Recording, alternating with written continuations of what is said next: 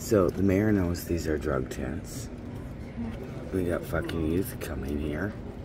They're fucking 24 hours a day open. You know, it's 3 o'clock. They were screaming down there. I don't know what the fuck they were doing, but they woke me up. There's fucking kids in here. So the mayor wants all these fucking people dead.